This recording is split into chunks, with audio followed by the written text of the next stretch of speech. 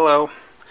There is a way to read EPUBs on your Kindle and also read PDFs with text reflow capabilities and you do it by installing another firmware on your Kindle but you can run it concurrently with Amazon's firmware and toggle back and forth between them as much as you want. Uh, there's no jailbreaking or anything like that involved and I don't know about Amazon's warranty because I haven't read it. Anyway, I'm going to show you how to install Duokan use it, and then show you how to uninstall it. First, download Duokan from this website. Um, it's all in Chinese lettering, but the download link is to the immediate right of the big green button. So click that, wait for it to load. It'll ask if you want to save a zip file. Hit OK. Save. Just wait for that to download and we'll resume the video. Once it's downloaded, open the zip file and highlight all the items and drag them right into the root directory of your Kindle. You need at least 200 megabytes of free space to fit all this stuff. Once the files are done transferring, eject the Kindle and then unplug it. Now we're going to restart. Go to the menu, go down to settings, bring up the menu again, go down to restart.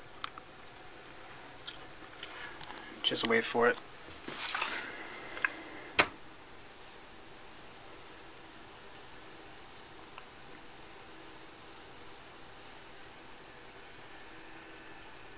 Alright, your Kindle might have restarted normally like mine just did, so we'll try this again. Go down to settings, bring up the menu, go to restart. Okay, you restart again and you should see that Duokan is installing. It says please wait 5 minutes. I'll resume the video when it's finished. Alright, Duokan's up and running, except you go to the menu and everything's in Chinese. So scroll down to the very last option, click that, then scroll down to the second to last option, open that, change the language to English, go back to the menu again, down to system settings, very last option, change IME Latin.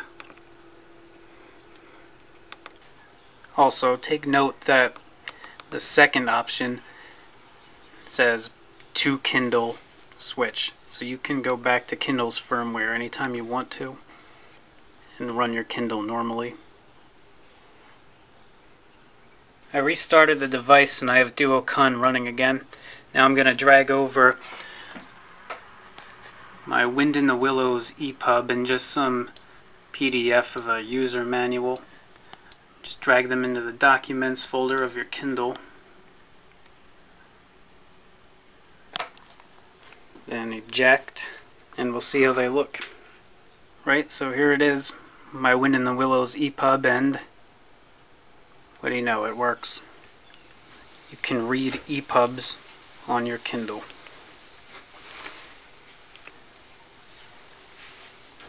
Looks pretty good too.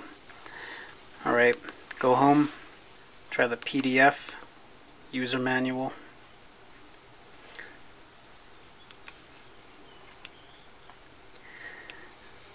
Now this looks fairly typical of PDFs because they're just too small for you to read usually.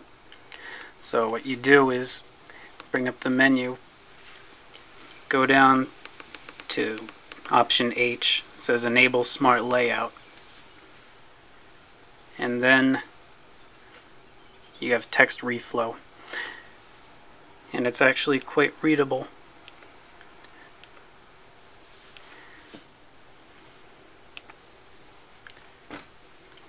Oh, I forgot to mention, when you bring up the keyboard, notice that you have a QWERTY keyboard now. Just when you got used to the ABCD keyboard, they switched it on you.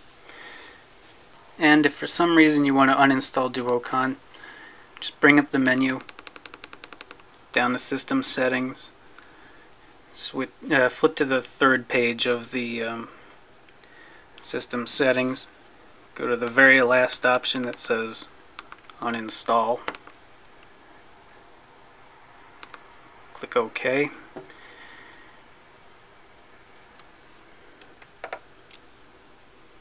should begin uninstalling.